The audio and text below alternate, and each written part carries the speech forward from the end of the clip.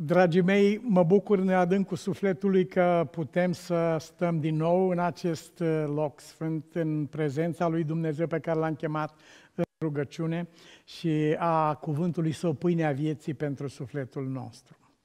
Uh, astăzi învățăm împreună un cuvânt care ne va ajuta să uh, privim călătoria noastră prin viață dintr-o altă perspectivă. În timp ce la cruce drumurile s-au despărțit ale celor doi, tot la cruce drumurile s-au întâlnit.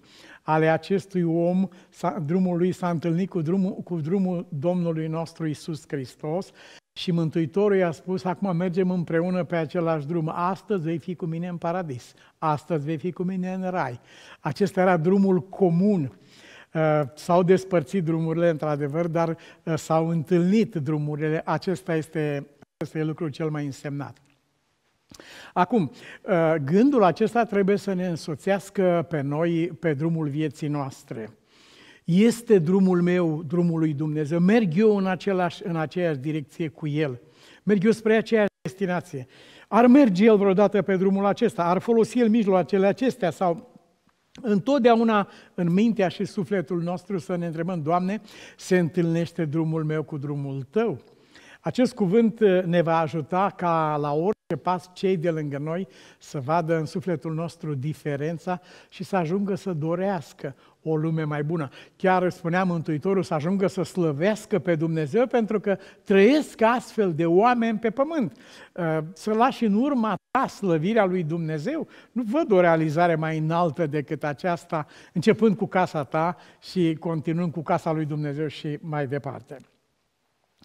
Un aspect al împlinirii rugăciunii Domnului nostru Isus Hristos, te rog ca tot să fie una, nu este doar cel al sacrificiului pentru aproapele tău, ă, că a luat totdeauna partea binelui, ci este și acela de a refuza totdeauna să fii părtaș la rău. Lucrul acesta este ușor de spus, dar poate fi extrem de costisitor. Ă, când spun acest cuvânt, mă gândesc la tragedia și la rana deschisă încă din Ruanda.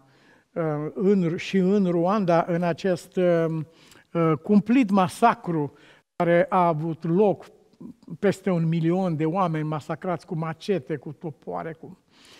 Uh, nu s-a putut imagina așa ceva. Dar uh, în, în, în mijlocul acestei tragedii și cei care ați și puteți să accesați media, aflați câte mai mult despre acest cumplit genocid, nu veți avea sufletul liniștit după ce se văd astfel de lucruri. El are în spate niște factori responsabili, dar în același timp are în spate și pe cei care uh, au întors spatele lui Dumnezeu, care i-a rugat să fie una. Te rog ca toți să fie una. Indiferent cine și din ce parte. Nu, uh, nu despre acest lucru aș vrea să vorbim, ci despre un altul. Într-o biserică așa cum este aceasta Într-o biserică a pătruns un grup de criminali hutu înarmați și au oprit corul care era la repetiție. Și atunci au cerut să se separe hutu de tuții, ă, două națiuni care locuiau țara și locuiesc, și ă, după ce au separat pe hutu de tuții, s-au gândit că începe masacrul acum. Dar a urmat ceva cu totul neașteptat. Dumnezeu a cunoscut sufletele acestora. De obicei, uh, ucigașii aceștia, Hutu, cu săbiri și cu macete, China a dat cam un milion și ceva de macete acolo, sau mai mult, uh, a trimis înainte de împlinirea de, de masacrul acesta, ceea ce arată care a plănuit dinainte. Uh, de obicei, când se întâmpla aceasta, separau tuții și îi omorau îi omorau copii, femei, bătrâni, familii întregi. Aici, în biserica aceasta, Dumnezeu nu permite așa ceva, ci creează o situație de neimaginat pur și simplu, desparte, îi desparte pe Hutu de Tuții, după care ordonă celor Hutu, acum omorâți pe cei Tuții din biserică. Și cineva a răspuns, sigur cu prețul vieții era răspunsul acesta, în biserica noastră noi nu avem Hutu și Tuții aceste două neamuri. Noi suntem frați și surori, indiferent de unde suntem. În clipa următoare au fost masacrați toți tuții și toți hutu care au fost în această biserică, s-au înfrățit în moarte. Este un cor ridicat aici, acum se numește corul Emaus, uh, care s-a ridicat pe, pe, pe ruinele acestea. Niciodată însă nu trebuie să uităm prețul acestui cuvânt. Noi nu suntem uh, baptiști, pentecostale, adventiști, catolici, ortodoxi. Nu. Noi suntem frați în Domnul Hristos. Așa a dat El legea lui Dumnezeu în care a spus, voi toți sunteți frați. Unul singur e învățătorul vostru sau dascălul vostru, Hristosul. Unul singur este Tatăl vostru, Dumnezeu din cer și voi toți sunteți frați. Aceasta este legea cerului. Oamenii aceștia au murit ca martiri pentru această lege a lui Dumnezeu. Ușor de afirmat, sigur, voi toți sunteți frați, foarte greu de împlinit și de trecut peste multe și mari obstacole sau de plătit un preț de neimaginat așa cum a fost acesta.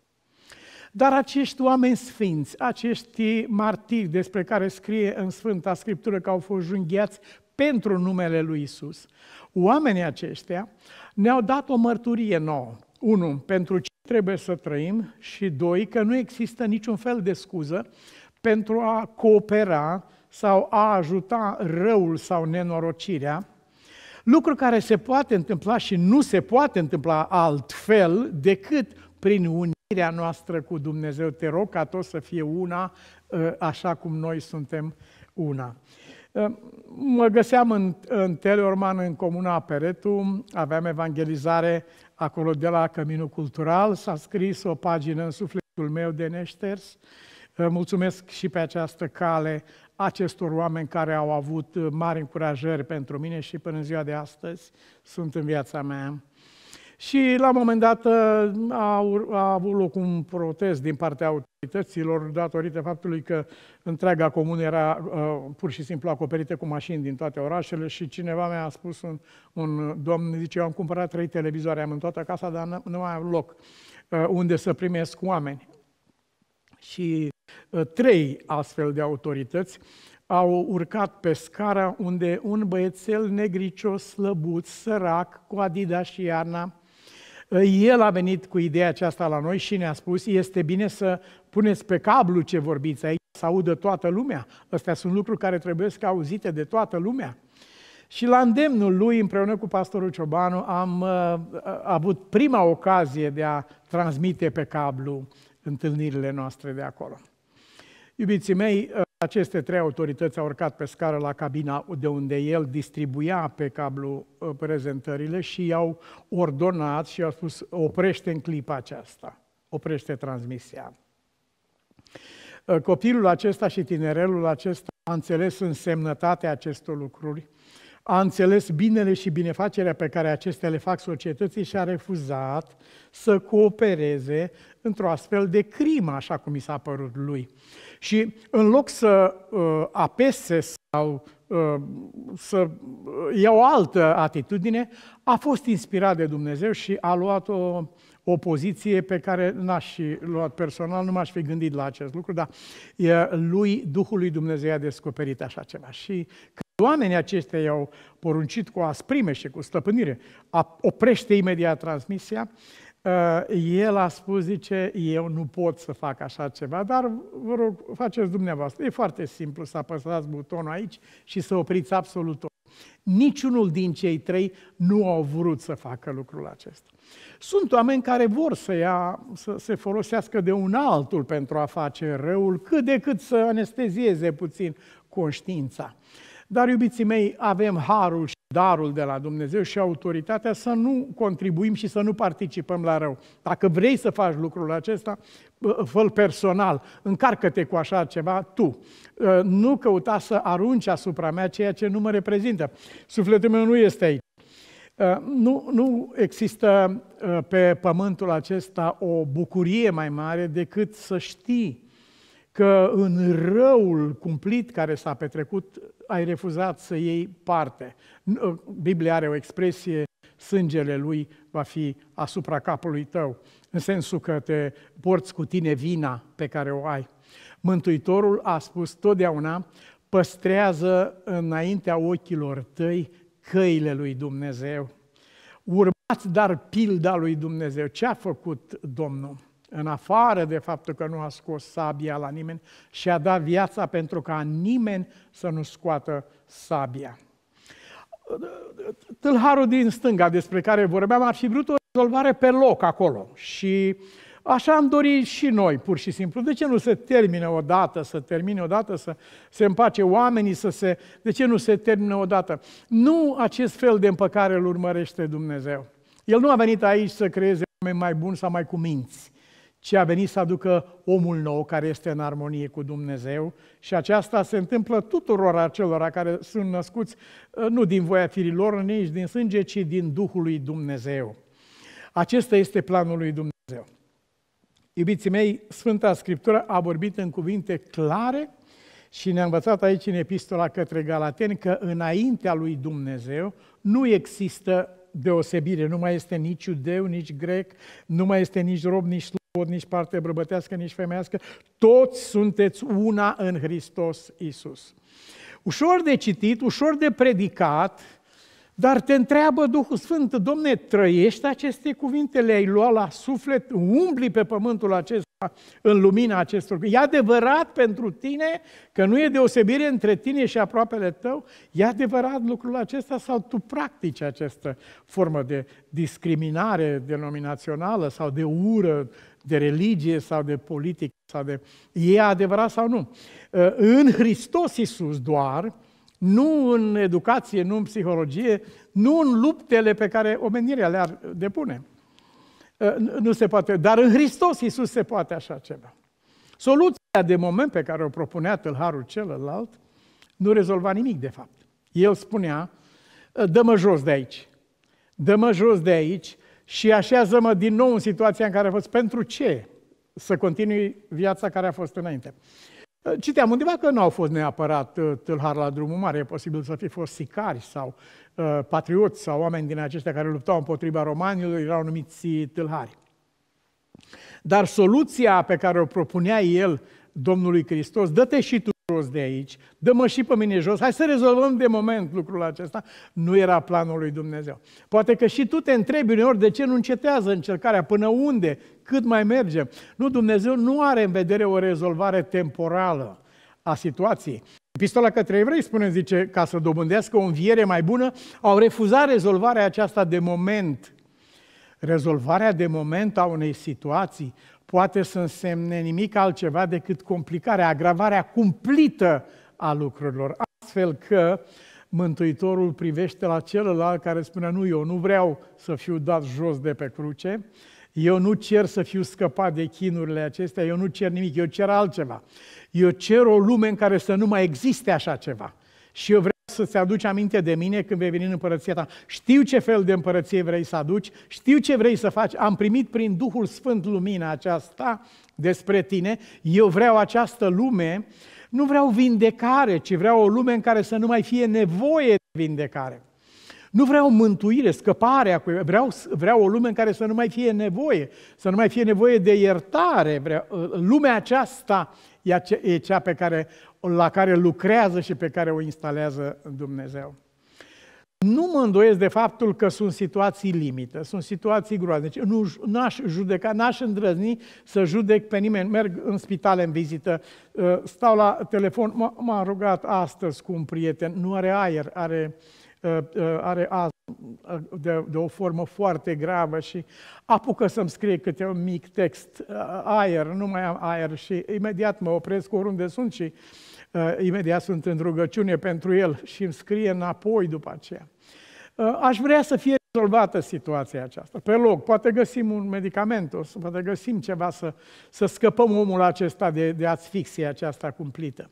Dar aceasta nu e rezolvarea problemei. Problema, rezolvarea problemei este o lume în care nu va mai fi nevoie de așa ceva. Nu va mai fi nevoie de niciun fel de medicament, de scăpare de felul acesta, de, uh, nu va mai fi nevoie. Aceasta este lumea. Uh, cum, așa cum scrie cartea Apocalipsei, nu va mai fi durere, nu va mai fi țipă, nu va mai fi tânguire. Lucrurile de tâi au trecut fără urme, n-au lăsat niciun fel de urmă. Nu va mai fi nimic vrednic de blestem acolo. Asta a jurat Dumnezeu, asta a promis Dumnezeu. Dacă cineva uh, nu se poate încrede nici în cuvântul lui Dumnezeu, nu mai rămâne nimic în care am putea să avem încredere pur și simplu. Dar este atât de adevărat lucrul acesta și ne îndreptăm spre el, atât în sufletele noastre, personal, uh, cât și în, în, în comunitățile din care facem parte, sau în familiile noastre, sau în societate, dar în lumea întreagă. Spre acolo se îndreaptă omenirea noastră și după cum răsăritul soarelui nu poate fi prevenit de nimeni să aibă loc pe pământul acesta, oricât de rău ar fi omul acela, oricât de înarmat, de nebun ar fi, nu poate preveni răsăritul soarelui. Nu, e, soarele va răsări la fracțiunea aceea de secundă, fără grabă, fără întârziere. Tot la fel nu poate fi prevenită împărăția lui Dumnezeu să ia în stăpânire întreaga această planetă. Uh, printre noi oamenii sunt uh, ființe care au primit și cuvântul și puterea de la Dumnezeu de a trăi rugăciunea Domnului nostru Isus Hristos. Te rog ca tot să fie una. Pactizează, unește-te cu cel în suferință, salvează pe cel târât la moarte, pur și simplu.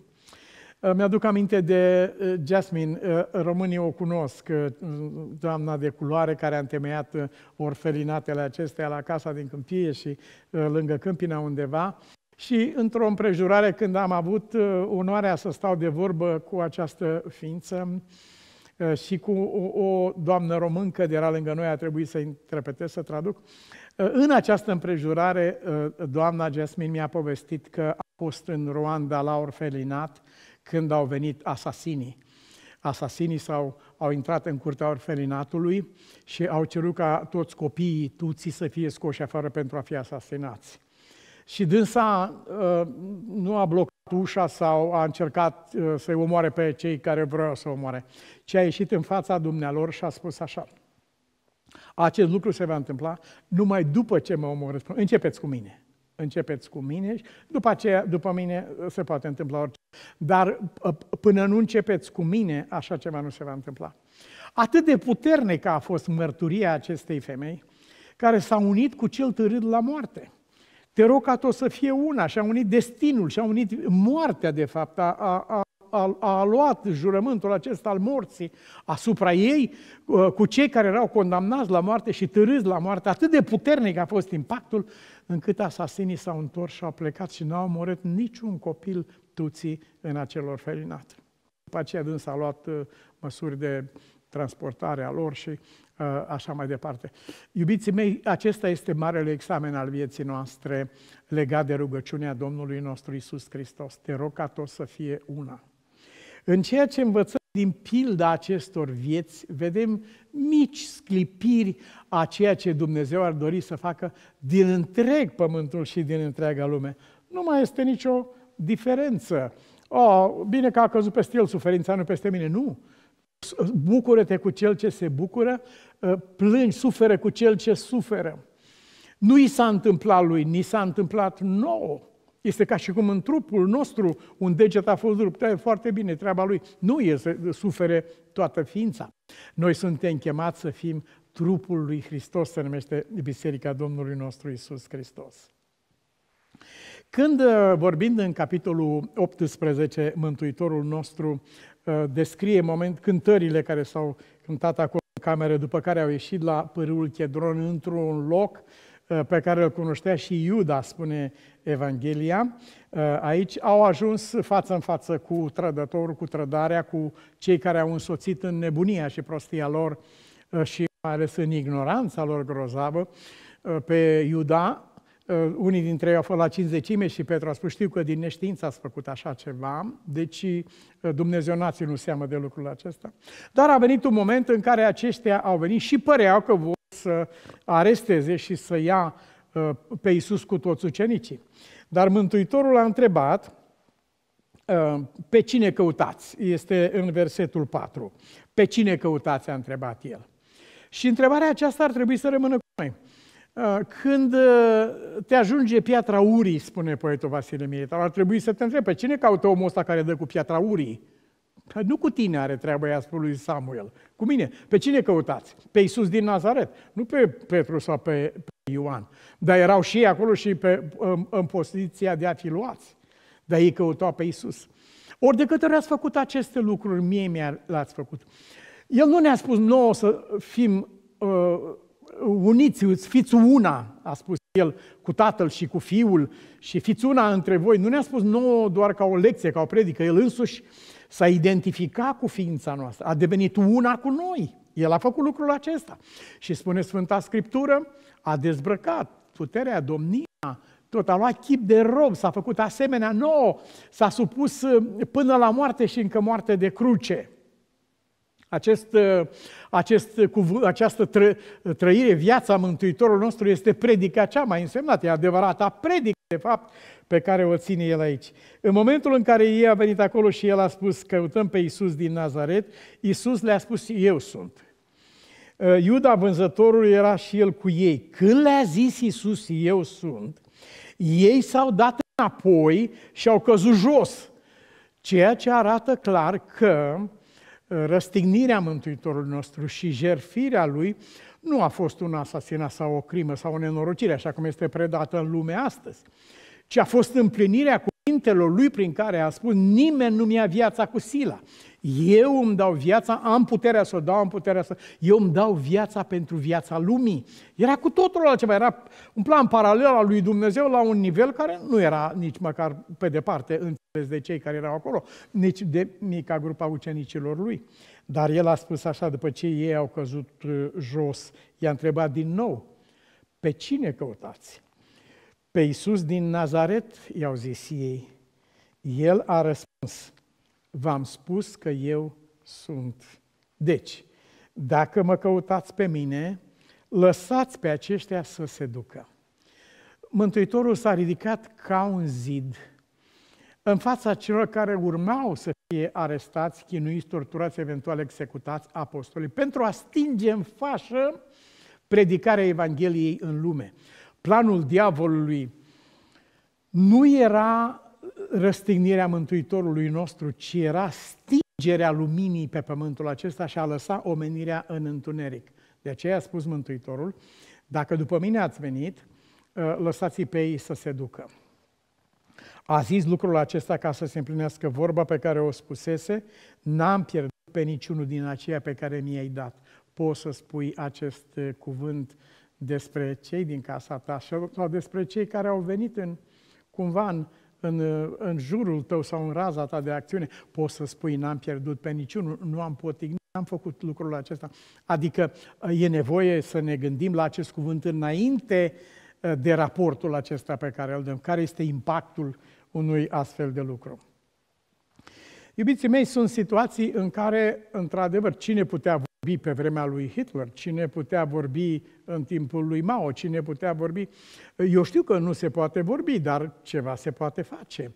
Și anume, cumva, înaintea lui Dumnezeu să nu fiu participant la rău. E un loc în care nu am libertatea să mă exprim, în lagărul de concentrare sau undeva.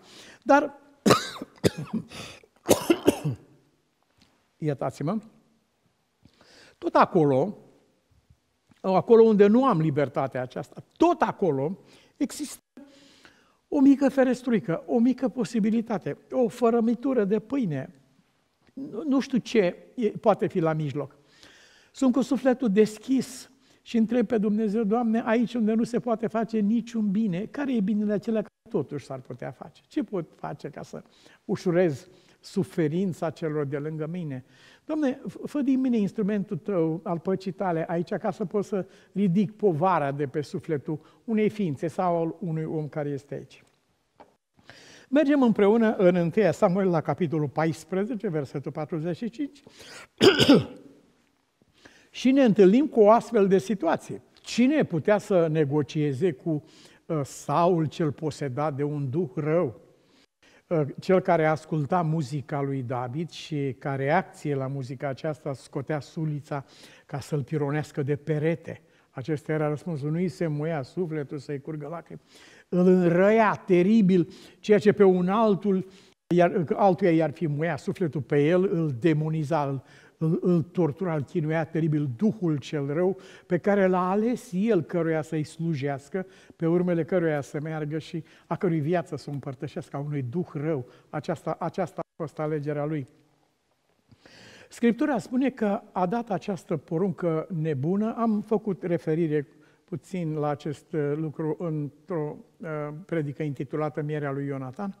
Uh, a dat această poruncă nebună în pădurea aceea uh, ca oamenii de război care erau istoviți uh, teribil, uh, care luptau să păzească familiile lor și să oprească nenorocirea aceasta care urma să cadă asupra copiilor lor.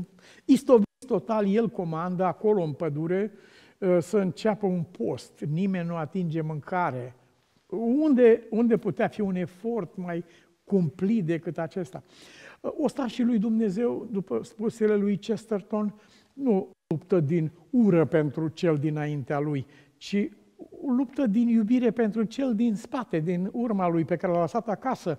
Oamenii aceștia și apărau, eu îmi apăr sărăcia și nevoile și neamul, eu nu am venit peste tine, eu îmi apăr lucrurile acestea, mi apăr familia cu orice preț, chiar al vieții, eh, dacă ar fi acesta. Și Știți bine istoria biblică, Ionatan a mâncat un fagur de miere și i s-a luminat ochii, ceea ce a arătat că uh, celorlalți cărora li se întunecaseră ochii din pricina hotărârii lui Saul pentru post și rugăciune într-o vreme ca aceea, uh, ceilalți, uh, uh, uh, comanda aceasta n-a fost venită de sus, ci de jos. Uh, pentru că prin, uh, uh prin cuvintele lui Ionatan mi s-a luminat ochii. Uh, cineva Uh, oamenii aceștia care au fost acolo sunt uh, impresionați de tânărul acesta din multe puncte. Este, un, este o ființă atât de iubitoare de Dumnezeu, atât de devotată. Știți, prietenia lui sfântă cu David, în care, în care bunul Dumnezeu era motivul prieteniei și frăției lor și uh, speranțelor lor de viitor și tu vei fi împărat și eu voi fi al doilea după tine și vom sluji și pe Dumnezeu și țara. Și Uh, un, un om deosebit de prețios pe care Saul îl condamnă la moarte. Uh, uh, condamnarea la moarte a acestui copil în care Dumnezeu pusese așa preț și așa valori, condamnarea la moarte împotriva biruinței, mă face să mă gândesc la mulți dintre eroii noștri din istoria noastră românească. Oameni care au avut contribuții zdrobitoare la, la ridicarea țării și care au sfârșit într-o cumplită închisoare, bătuți, omorâți. Acesta le-a fost sfârșitul. Aici este Ionatan. După victoria care a obținut-o, e condamnat uh, la o astfel de moarte. Uh, s-ar putea uh, spune, e o fatalitate. Cine poate negocia cu Saul? Cine poate vorbi cu Saul? Ba da. Se ridică întrebarea, Doamne, în împrejurarea aceasta, ce pot să fac? Nu avem voie să facem nimic bine, nu avem voie să ne exprimăm. Copiii în lagărele de concentrare nu au voie să plângă când sunt spânzurați, alți copii nu au voie să plângă, dar, dar ce pot să fac? O, o rugăciune voi înălța în sufletul meu sau voi face ce... Dumnezeu îmi va arăta mie ceva care pot face. Ce pot să fac în această împrejurare? Și poporul nu, nu cedează, nu colapsează în fața unei astfel de fatalități a infernului, a răutății. Acest rege nebun și posedat omoară pe propriul lui copil uh, pentru un lucru de care era absolut nevinovat. El nici n-a știut de lucrul acesta, dar pe el nu-l interesează. Dumnezeu ține seamă de vremele de neștiință, dar nu el. El nu ține seamă de lucrul acesta. Și atunci poporul care putea să spună este o, este o fatalitate, ce să faci? Ce, ce se poate face? Nu ai ce să faci întreabă în sufletul lui pe Dumnezeu, Doamne, chiar nu se poate face nimic. Nu putem să facem ceva? Și iată ce scrie aici în versetul 45. Poporul a zis lui Saul, ce? Să moară Ionatan? El care a făcut această mare izbăvire în Israel. Niciodată a spus poporul. Viu este Domnul ca un, ca un păr din capul lui nu va cădea la pământ, căci cu Dumnezeu a lucrat el în ziua aceasta. Și conclude versetul 45, astfel poporul a scăpat pe Ionatan de la moarte. Și noi am avut atâți eroi condamnați, chinuiți. L-am avut, l-am avut pe Brâncoveanu, arestat, luat în palat, trecut prin București până la Giurgiu. Nu a deschis nimeni gura. N-a vorbit nimeni nimic. Uh, am avut oameni care au plătit cu sânge libertatea și uh, fericirea și întregirea țării și toate acestea. Am ridicat noi glasul atunci când aceștia au fost confruntați cu un astfel de tiran? Poporul acesta a făcut lucrul acesta. Ar fi putut foarte ușor să se spele pe mâini ca Pilat, nu, nu știm despre ce este vorba, dar în ei s-a împlinit rugăciunea Mântuitorului nostru, te rog să fie una, te rog ca ei să fie una cu cel care este expus morții, izbăvește pe cel târât la moarte și scapă pe cel ce este gata să fie junghiat. Bine, dar asta înseamnă să mă expun eu la moarte. Este mult mai ferice uh, lucrul, să-ți închini viața unui astfel de ideal decât să poți în spatele tău și pe sufletul tău uh, sânge nevinovat, așa cum spune Sfânta Scriptură. Uh, mi-aduc aminte de o anchetă în care am fost, să zicem, de la 9 dimineața până la 6 seara, cam atât a, a durat. Și acolo mi s-a cerut un singur lucru.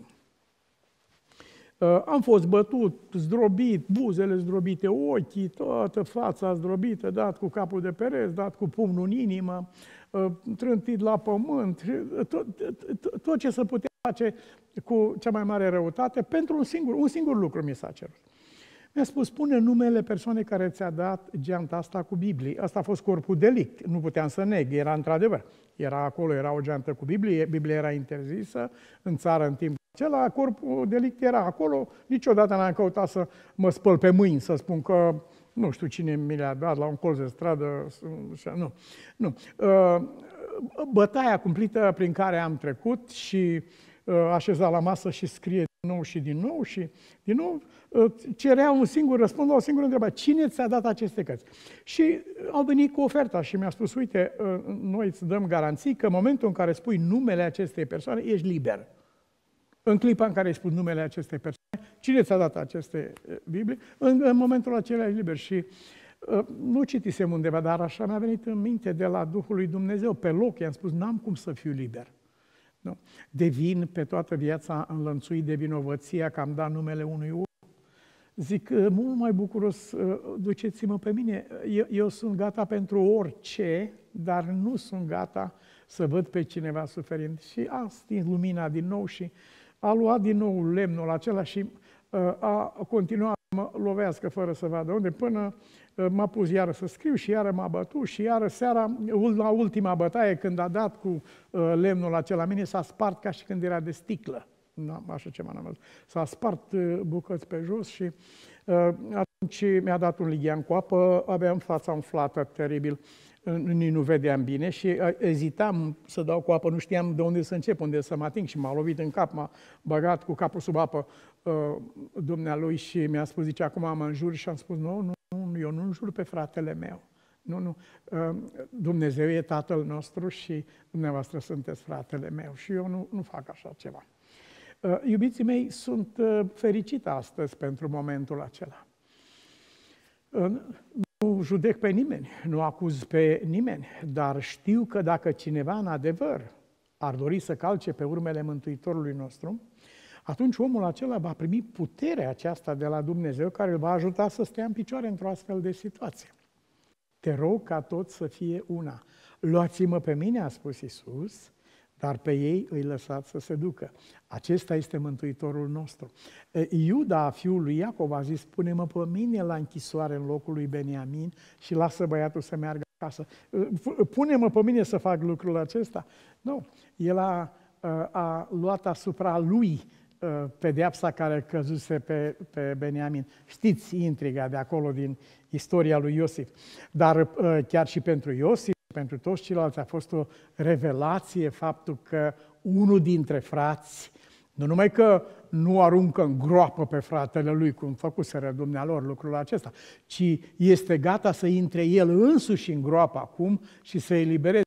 A avut loc o schimbare de inimă între timp. Lucrul ăsta l-a potopit pe, pe Iosif, ați văzut că spune în Geneza că se ducea și plângea, nu, nu mai putea, că a văzut schimbarea care a avusese loc în ei. Pune-mă pe mine la închisoare în locul lui. Și uh, uh, pilda vieții lui, uh, uh, cuvântul acesta se încheie cu Ah, să nu văd mâhnirea tatălui meu. Dacă ne-am gândit la cuvintele acestea, ah, să nu văd mâhnirea lui Dumnezeu, înainte de a face un lucru sau altul, n-aș vrea, aș vrea să văd fericirea lui Dumnezeu, a fericitul lui Dumnezeu. N-aș vrea să văd mâhnirea lui Dumnezeu vreodată pentru vreunul din copiii lui care a fost rănit sau potignit prin viața mea. Și spune el aici, ah, să nu văd mâhnirea tatălui meu, cum voi putea eu cum mă voi putea sui eu, Genesa 44 este aici, versetul 34. Cum mă voi putea sui eu la tatăl meu dacă băiatul nu este cu mine? Ah, să nu văd mâhnirea tatălui meu. Iubiții mei, suntem într-o lume atât de fărâmițată, dar în același timp atât de frumos unită. Suntem într-o lume în care pare că rugăciunea Mântuitorului nostru te rog ca tot să fie una, nu s-a împlinit și pare că nu are nicio șansă de a se împlini vreodată, dar nimic mai departe de adevăr. Pe pământul acesta, în biserica aceasta, oriunde în lume există o sămânță de urmași la care a făcut referire capitolul 53 din cartea profetului Isaia. Va vedea o sămânță de urmași.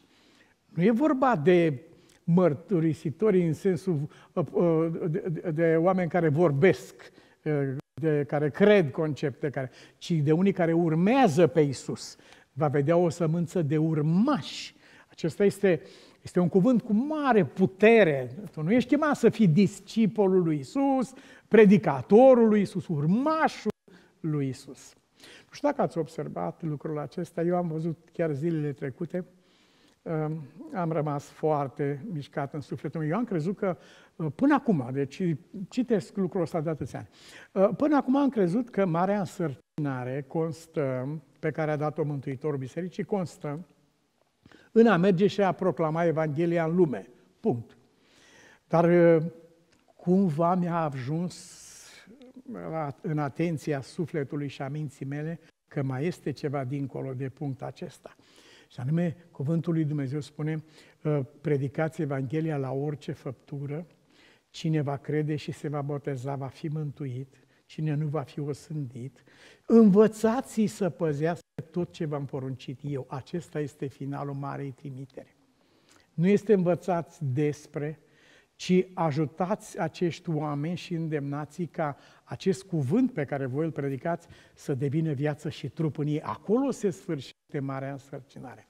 Va vedea o sămânță de urmași, nu de simpatizanți, nu de, de membri ai partidului lui, al nazarinenilor, ci va vedea o sămânță de urmași. Când, când Petru a protestat legat de zvonul care s-a auzise despre Ioan. Uh, Iisus i-a spus, zice, nu, datoria ta este una singură, vino după mine. Ce mai văzut pe mine făcând, fă lucrul acesta. Tu vino după mine, tu personal, dar cu Ioan, cum e? nu, tu personal vino după mine. Doamne, uite ce la noi la adunare, uite ce la noi acasă, uite ce la noi pe stradă. E așa este, dar tu, în aceste condiții, vino după mine. Asta este uh, chemarea lui Dumnezeu și nu doar ca unul care vorbește despre aceste lucruri să le auzi, ci ca unul care le trăiești. Un urmaș al lui Isus este cu mult mai mult decât un simplu cetățean care crede o serie de dogme. Până la urmă observăm că și cei răi, demonii, cred și se înfioară. Asta nu înseamnă nimic despre ei, despre aceștia nu se poate spune că sunt urmași al lui Isus. A fi urmaș al lui Isus înseamnă a trăi viața Domnului nostru Isus Hristos în ființa ta. Iubiții mei, aș vrea să uh, uh, mergem într-un loc în care sufletul se cutremură. Uh, ce înseamnă, care este partea opusă a medaliei? Un anume informator, numit Doegedomitul, care se găsea acolo, sub acoperire, merge și dă o notă informativă. Sur, îi spune lui Paul, sursa vă informează că, așa scrie în cartea aceasta, unde au fost date notele informative ale informatorilor, între care un informator a spus că dacă nu voi asculta de voi, de cei care l-au recrutat, să fiu pedepsit uh, cu moartea. Așa și-a asumat.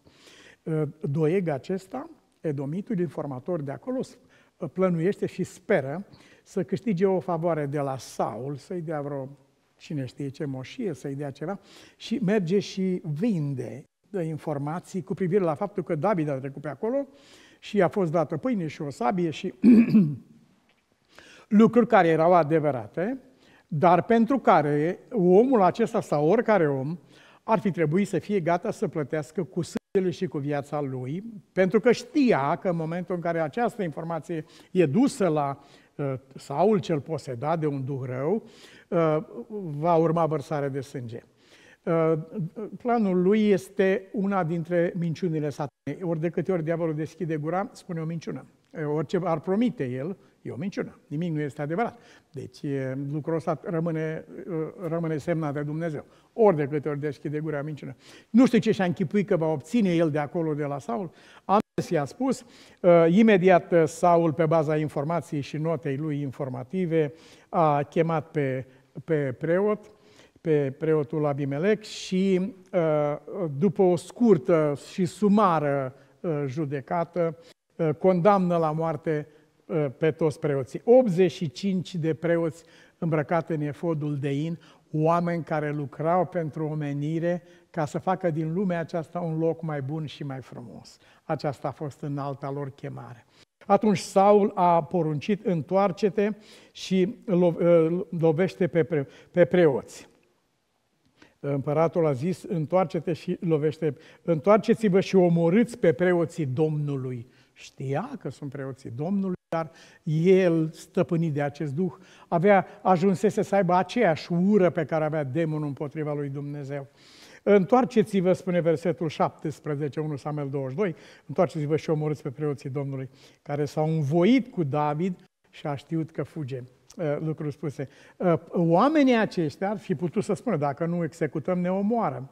Atunci ei și-au asumat moartea, s-au unit în moarte cu acești preoți și Uh, spune Scriptura, pre, uh, slujitorii împăratului n-au voit să întindă mâna să lovească pe preoții Domnului. Și atunci împăratul s-a întors către Doeghe, Domitu, că așa prevedea legea, uh, turnătorul să dea primul cu piatra. Și i-a spus lui Doeghe, Domitu, întoarce-te și lovește pe preoți. Și a omorât cu mâna lui 85 de preoți. Nu știu dacă vreo favoare pe care ar fi făcut-o Saul putea să compenseze așa ceva, dar aici duce drumul omului care refuză sfatul lui Dumnezeu, prin care el ne-a îndemnat și pentru care s-a rugat, te rog ca toți să fie una cu Dumnezeu în drumul lui.